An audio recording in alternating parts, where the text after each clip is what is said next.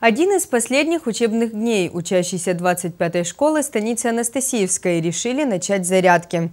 Завершение года и начало каникул они отметили участием в спартакиаде, посвященной здоровому образу жизни. Тему продолжат мои коллеги.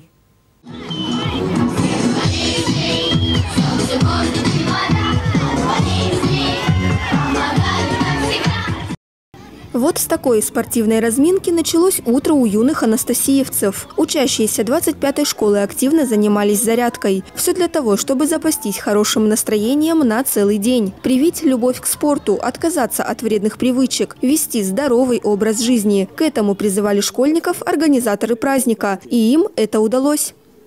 День здоровья – это весело, здорово, все бегают, играют, всем здесь нравится. Мне тоже. День здоровья – это очень здорово. Я бы хотела, чтобы такие мероприятия как можно чаще повторялись в нашей школе.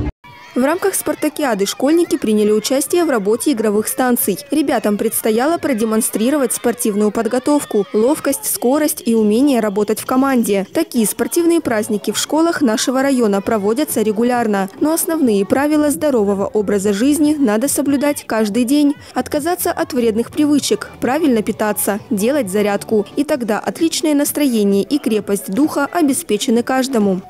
Надежда Калинина, Георгий Калинин. Программа «События».